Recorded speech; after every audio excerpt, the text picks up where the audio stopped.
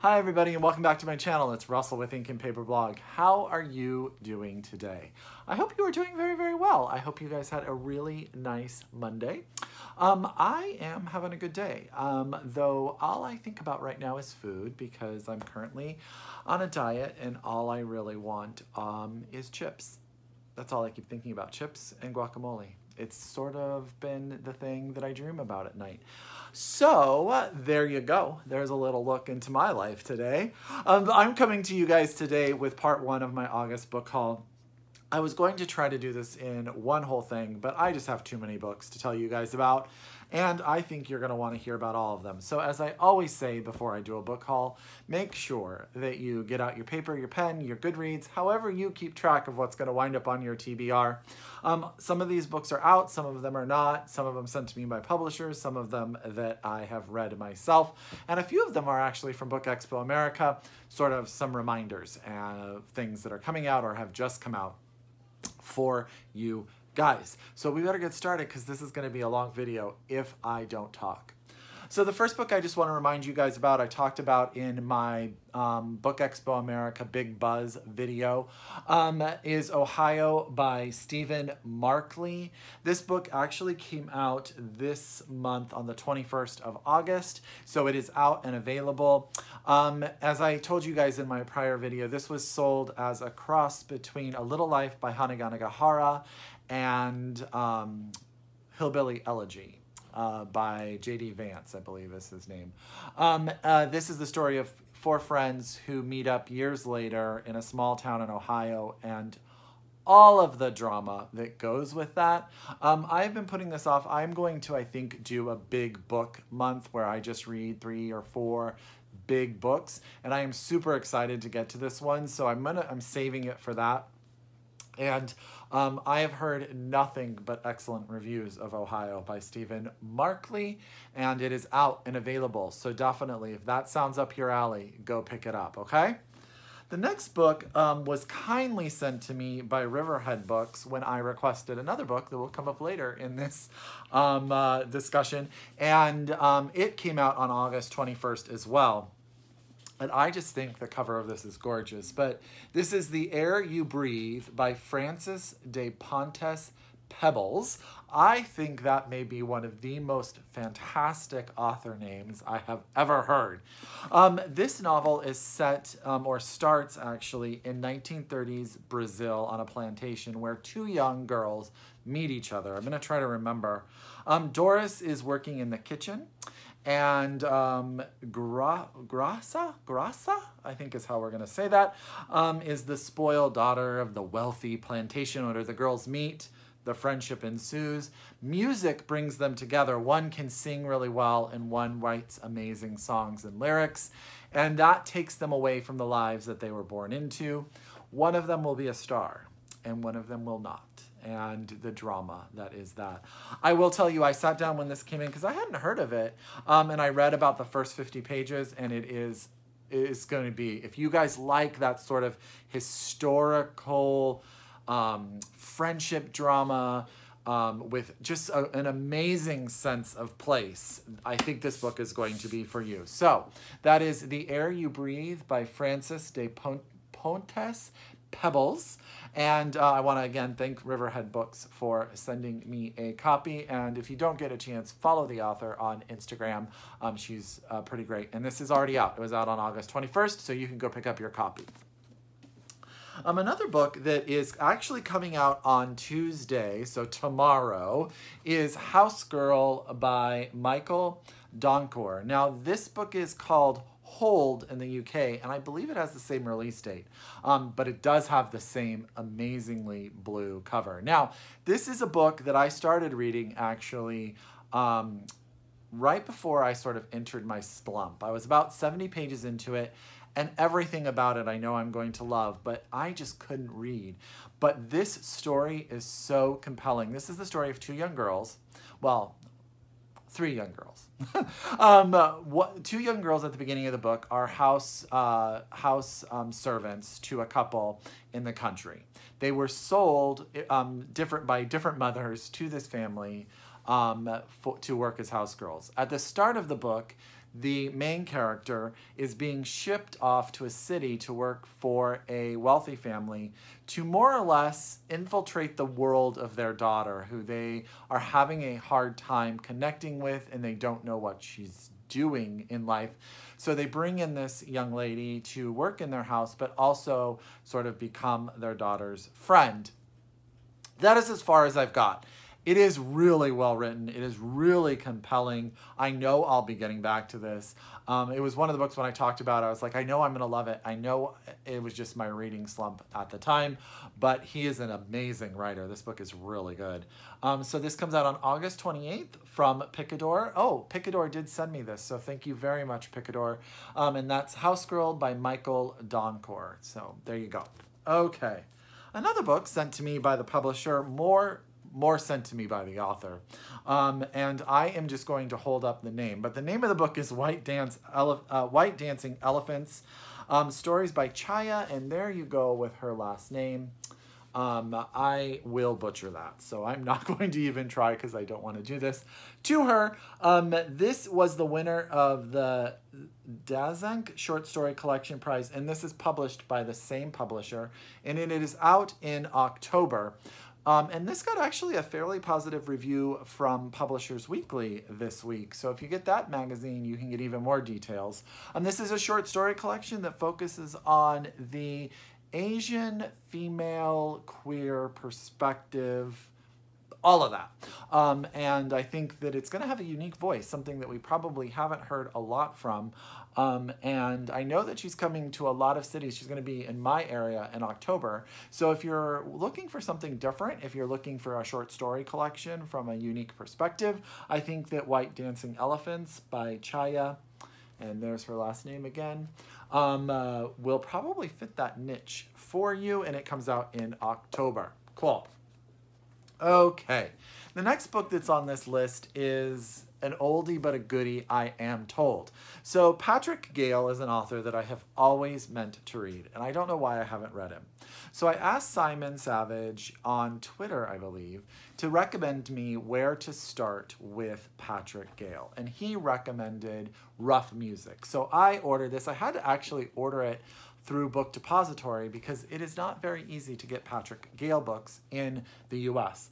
But Rough Music is the story of Julian. Now, I guess Julian is the there's two parts. He is a child on holiday in North Cornwall and his American family comes over and that's part of the story.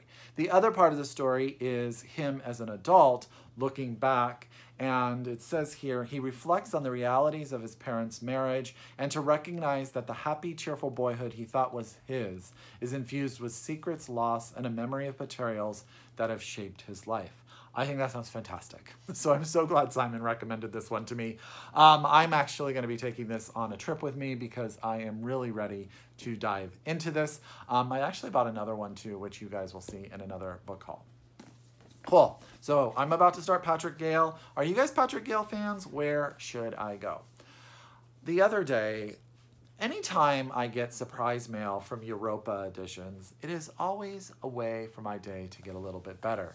And they sent me a copy of Amelia Nothomb's Strike Your Heart. This is translated, I want to say, from the French by Alison Anderson, translated from the French. Um, I'm going to read this to you. It's a short blurb, but I think it's so compelling. It says Diane is raised by a mother so plagued by jealousy of her own daughter that she is incapable of showing affection to her. Despite this, Diane grows up to become a brilliant young woman who rejects societal expectation. She forges her own path, dismissing suitors and pursuing her dream of becoming a cardiologist. At university, she befriends an assistant professor, Olivia. Intelligent and cold, Olivia's ambitions and need to feel superior of others drags Diane down to a dark place. This is the story of Diane's relationship with other women. I think that sounds amazing. I think this cover is flippin' fantastic.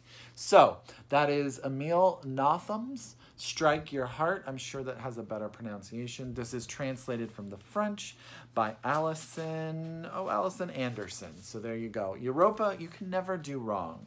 And speaking of um, small publishers that can never treat you poorly. We're going to talk about Tor.com right now. And th this is the first novella that I picked up from them. I bought this for myself.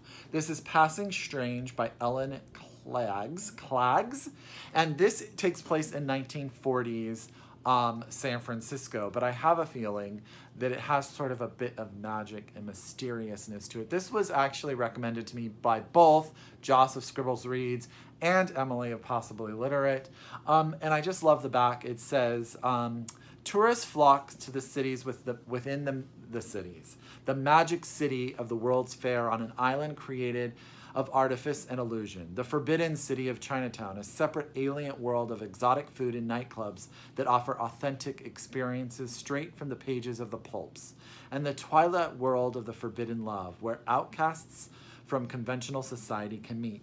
Six women find their lives as tangled with each other's as they are with the city they call home you guys. Come on. Does that sound, not sound amazing?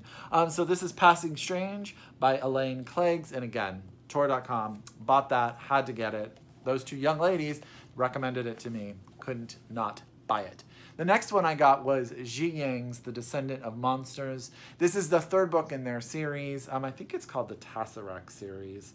Um, but the first book was The Black Tides of Heaven, which I loved and then the Red uh, Threads of Fortune, which I thought was even better. And I believe this third book is um, in the same world, but involves a spy. I'm not getting myself too much into it because what I love about their books is when Zhi Yang writes a book, you just dive into that world. It's the same world, but an amazing story. Um, so I highly recommend the trilogy. I am so excited to read the third book. And um, yeah, so Zhi Yang's The Descendant of Monsters. Um, the next book was actually also sent to me by the publisher, so thank you very much, Scribe. And it is called The Dictionary of Animal Languages by Heidi Sopin, Sopminka? Sopminka? I can't hit that P the way that it probably is supposed to be hit.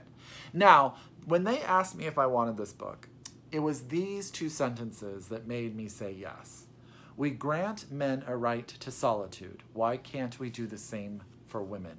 I thought, well, that premise sounds fantastic. Now, this is the story of Ivory. Ivory is born into a wealthy family in modern in northern England, sorry, and she's sent to a boarding school and gets educated. And she wants a different life. So she moves and escapes to interwar Paris, um, where she falls in with the Surrealists. And she has an intense love affair with a Russian painter and her ambitions to create, Ivory's life is violently interrupted by the Second World War. She flees from Europe, leaving behind her friends, her art, and her love. One, I think this cover is amazing. Two, I think that sounds fantastic. And yeah, I cannot wait to get and dive into this. So again, thank you, Scribe, for sending me a copy. Um, I, this book is out now, I do believe. I think, I, let me check real quick before I say that. Um, it, they always give you a little, um, it comes out on September 18th. I am sorry. September 18th, pick up the Dictionaries of Animal Languages by Heidi Sapinka. Sapinka. The next book I requested when I saw, I don't know, I saw it on Instagram. Um, if you guys don't know this about me, I am a huge fan of Zoe Heller's Notes on a Scandal. And this book got a comparison to that. And I think it also has sort of a Lolita sort of uh, tie-in too. And that is Putney by Sofka Zinovieff, and I said that wrong. And um, I just, when I saw, heard the blurb on this, I just thought, okay, I gotta get this book and I think it's going to be amazing and uncomfortable and uh, yeah. So it says, a rising star in the London's art scene in the early 70s, gifted composer Ralph Boyd is approached by a renowned novelist Edmund Greensley to score a stage adaptation of his most favorite work. Welcomed into Edmund's sprawling bohemian house in Putney, an artistic and prosperous district in southwest London, the musical wonderkind is introduced to Edmund's beautiful activist wife, Ailey, his aloof son Theo, and his nine-year-old daughter Daphne, who becomes Ralph's muse. Ralph showers Daphne with tokens of his affection, clandestine gifts, and secret notes. In a home that is exciting but often lonely, Daphne finds Ralph to be a dazzling companion. Their bond remains strong even after Ralph becomes a husband and father, and though Ralph worships Daphne, he does not touch her. But in the summer of 1976, when Ralph accompanies 13 year old Daphne alone to meet her parents in Greece, their relationship intensifies irrevocably. One person knows of their passionate trysts Daphne's best friend Jane, whose awe of the intoxicating Greensley family ensures her silence. Does that not sound so good? I could not have done that justice. I could not have summarized all of that in a way that would make you want to read it. You want to read it. This book come out came out on August 18th. It is out there. Go get it. I want to thank very much to Harper for sending me a copy. Um, and yeah, I'm going to dive into this one. I, I have a feeling soon, soon, soon. The last book that I am going to mention um, has one of, is one of the most unique covers that I have ever ever seen. This is the proof edition by One World, which I think is a subsidiary of Random House. So I want to thank them for sending me a copy. The reason I requested this book is because I saw it on Instagram and then later saw Roxane Gay was reading it and talking about it. And then my friend Michael Kindness was like, oh, I'm reading that and it's amazing. So this is We Cast a Shadow by Maurice Carlos Ruffin. Now, how do I describe this book? This book is a futuristic tale about racism. We have a main character who is a lawyer, and he has a son who is half black, half white, half white, and racism is just it's just everywhere. It's becoming more and more rampant. But what has happened is there is now a procedure that you can purchase that will turn you white. And the father character in our book wants to do this for his son so his son does not have to face racism, as is in this future world. But in order to do so, he has to become one of the few black partners in a law firm for which he works. So, all of that is enough. This book sounds fantastic. So that is We Cast a Shadow by Maurice Carlos Ruffin. I'm going to hold this close so you guys can get a look at that cover. So this is an apple, and those are little boys, uh, the head of a little boy. I think, you guys, yes, add this to your list. I think this does not come out for a while. I think it doesn't come out until I want to say February of next year. Um, but put it on your list, pre-order it because I think it's going to be a, I think it's going to be a, a, world changer. I think it's going to be a world changer. Um, and it got references online to Get Out, the movie, it's The Sellout by Paul, uh, Paul Beatty. So if you like that kind of stuff, I think that this is going to be the book for you. So aren't you glad that I'm going to turn my book haul into two videos? Because this one is already 18 minutes. So as always, if you are a return subscriber, thank you so much. If you are new to my channel, I hope you like what you saw and I hope you pick up a bunch of these books. As always, happy reading and until next time, I'll talk to you later. Bye!